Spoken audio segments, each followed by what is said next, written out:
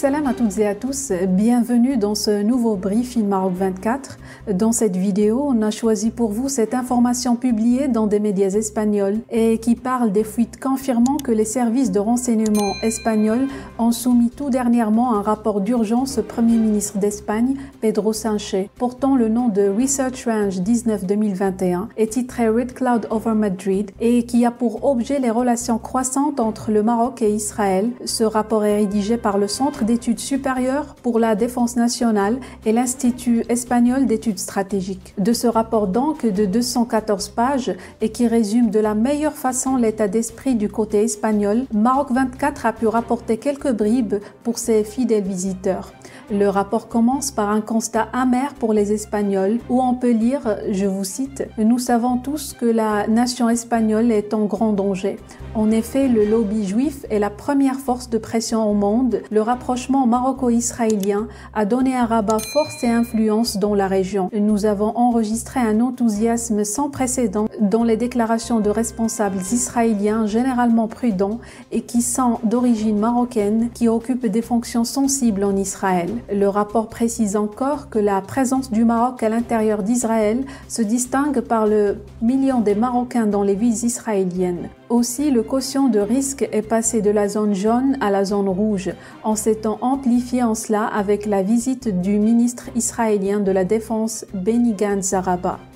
Dans ce rapport, on peut toujours lire Lorsque l'accord sans précédent signé sera lancé, il rendra impossible toute négociation avec le Maroc au regard d'un nouveau rapport de force, d'où la perspective qui permettra au Maroc d'acquérir facilement des équipements de sécurité israéliens de haute technologie. Outre la coopération en matière de planification opérationnelle, de recherche et de développement technologique militaire, la coopération maroco-israélienne comprendra également la construction d'une base militaire près de nos frontières nationales le projet de base militaire dépasse de loin les objectifs de la Convention d'Abraham dont le Maroc est partie prenante. Là, entre parenthèses, il faut préciser que cette information qui parle de base militaire israélienne au Maroc est fort probablement fausse, puisque des sources marocaines et israéliennes parlent plutôt d'usines de fabrication de drones et non pas de base militaire. Sinon, le document parle aussi d'informations selon lesquelles la coopération entre le Maroc et Israël pourrait aller au-delà de la sécurité et de la défense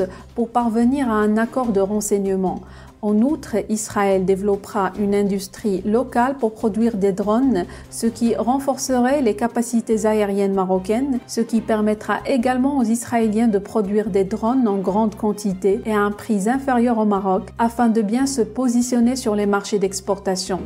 Le rapport des services de renseignement d'Espagne, ce n'est pas limité à énumérer les challenges sécuritaires de ce rapprochement entre le Maroc et Israël, mais parle également d'un supposé danger aussi bien au sud qu'au nord. Le rapport ajoute que les autorités marocaines ont autorisé la prospection de pétrole sur la côte de Tarfaya à une entreprise qatari près des eaux canariennes et que Rabat a également accordé des licences à une entreprise israélienne pour explorer le pétrole et le gaz dans les eaux du Sahara marocain près de Dakhla. Il y va sans dire que ce rapport portant le nom de Research Range 19-2021 et titré Red Cloud over Madrid nous ramène à un autre, celui auquel le roi Mohammed VI, sans citer quiconque, dans son discours prononcé à l'occasion du 68e anniversaire de la révolution du roi et du peuple, avait fait allusion, celui du think tank au nom de Stiftung Wissenschaft und Politik, dont se nourrissent l'exécutif d'Allemagne et son parlement pour imposer leur diktat.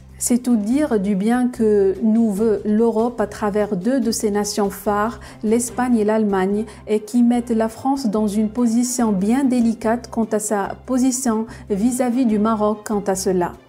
C'est tout pour aujourd'hui. Laissez-nous vos commentaires à propos du nouveau rapport espagnol et abonnez-vous sur Maroc 24 pour rester informé.